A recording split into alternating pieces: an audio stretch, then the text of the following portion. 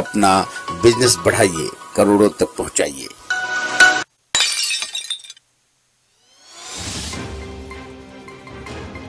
ममता बनर्जी ने उद्धव ठाकरे को बांधी राखी। विपक्ष गठबंधन की बैठक में भी लेंगी हिस्सा, जहाँ पश्चिम बंगाल की मुख्यमंत्री ममता बनर्जी ने महाराष्ट्र के पूर्व मुख्यमंत्री उद्धव ठाकरे को राखी बांधी है।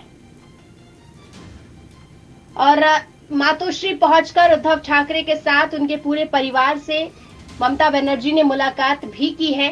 साथ ही ममता बनर्जी ने उद्धव ठाकरे को राखी बांधने के बाद ये भी कहा है कि विपक्ष लोकसभा में खेला करेगा। लोकसभा में बहुत बड़ा खेला होने वाला है। विपक्ष बहुत ज़्यादा सीटें लाएँगी।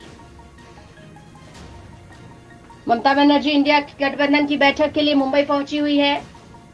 अमिताभ बच्चन को भी उन्होंने उनके बंगले पर पहुंचकर राखी बांधी थी। आज ममता बनर्जी के ट्विटर हैंडल से ट्वीट भी किया गया कि आज माननीय मुख्यमंत्री ममता बनर्जी ने मुंबई में उद्धव ठाकरे और उनके परिवार के साथ रक्षा बंधन मनाई उद्धव ठाकरे द्वारा भी ट्वीट किया गया कि आज मातुश्री आवास पर रक्षा बंधन के मौके पर ममता बनर्जी पहुँची।